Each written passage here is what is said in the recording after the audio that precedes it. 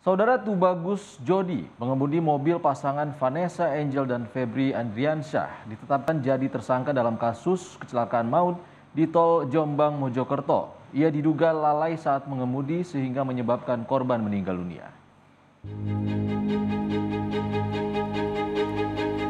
Supir Vanessa Angel Tubagus Jody ditetapkan sebagai tersangka dalam kasus kecelakaan maut di tol Jombang Mojokerto. Pria 24 tahun ini dinyatakan sebagai tersangka setelah Kejaksaan Negeri Jombang menerima surat pemberitahuan dimulainya penyidikan pada Rabu kemarin. Melaksanakan gelar yang kedua. Ya, gelar yang kedua untuk melakukan perubahan status. Itu telah dilakukan setelah kami berkoordinasi dengan GPU. Ya. Di situ jelas kepada yang bersangkutan dikenakan pasal nanti akan kami sampaikan. Ya yang jelasnya. Kami lanjutkan lagi.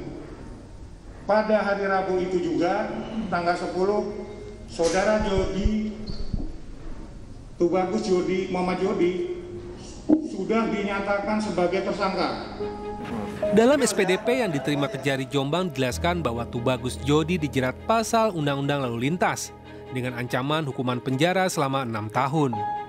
Sudah kita terima SPDP ya, SPDP nomor 837. Uh, ah, sebagaimana yang ditanyakan teman-teman tadi, udah benar hari ini kita terima. Untuk selanjutnya?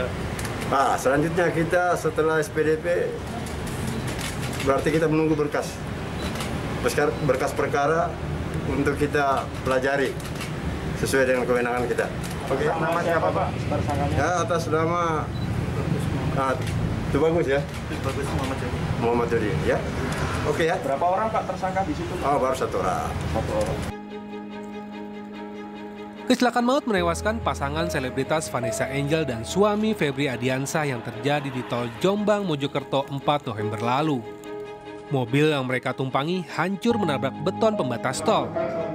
Tiga penumpang selamat, yaitu anak Vanessa, ART, dan sang supir. Sementara Vanessa dan suaminya tewas di lokasi kejadian. Muhammad Sarifuddin, Kompas TV Jombang, Jawa Timur.